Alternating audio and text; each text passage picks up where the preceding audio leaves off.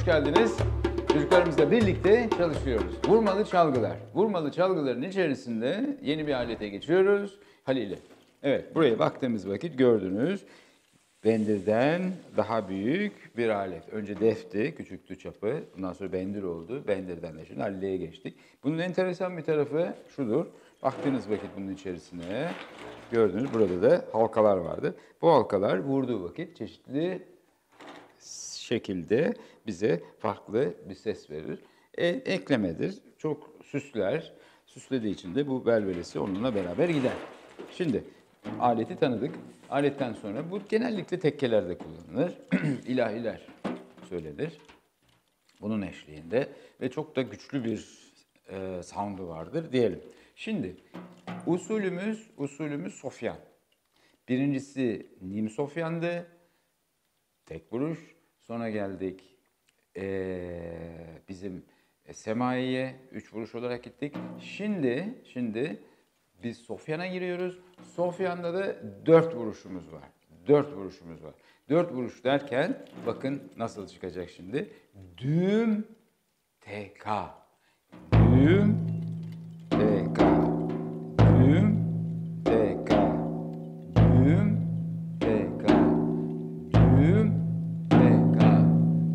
da düğüm TK. Giderek devam eder. Şimdi burada dikkat edeceğimiz nokta nedir? Düğüm 2. TK 1 1. 1 2 3 4. 4 vuruş çıktı değil mi? Tamam. Peki şimdi nasıl yapacağız bunu? Düğüm TK bu.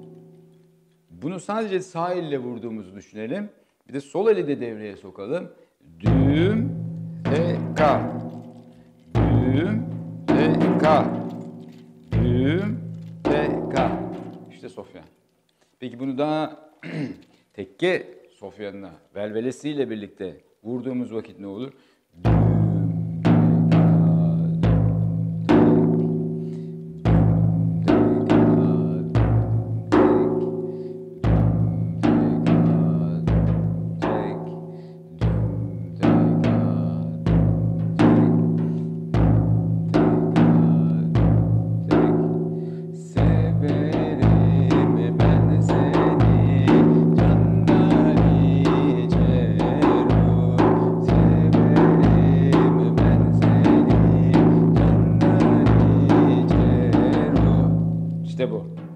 Düğüm TK. Velveli Sofya. Bir de başka türlü de bunu duymak istiyorsanız arada eşlik eden ilahilerin içerisinde de zikir olduğunu düşün.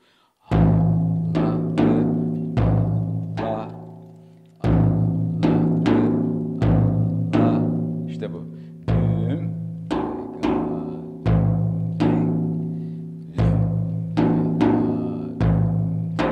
Değil mi?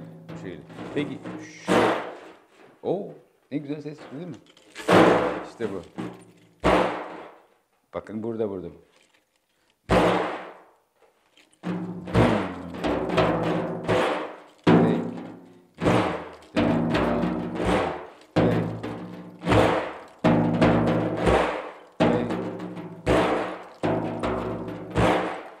Ne güzel geliyor ses değil mi?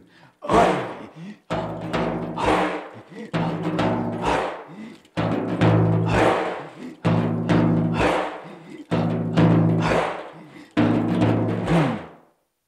Dün de ne diyor? Hay diyor. Hay diyor. Candan diyor yani. ya. Onun için tekkelerde böyle gider.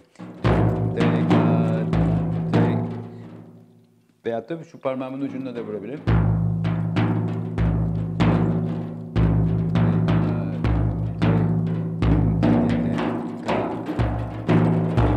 İşte. Bunu başlıkla da vurabilirsiniz, böyle de vurabilirsiniz.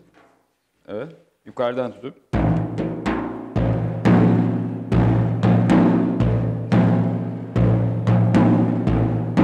Çocuklarınızı öğretin.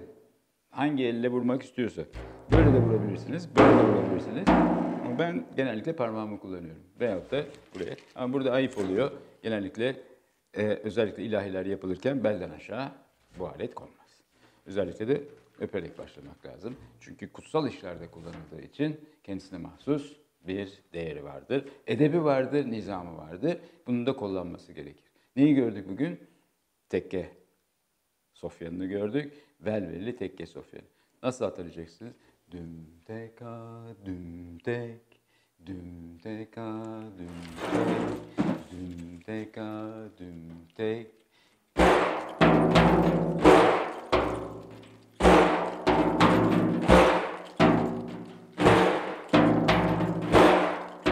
Bakın kendisi düşüyor. Şu bilekten de bunu böyle bu şekilde çeviriyorsunuz. Yavaş yavaş alışırsınız. Bir hafta biraz idman yapın. Ondan sonra tekrar buluşalım. Olmaz mı? Hadi bakalım.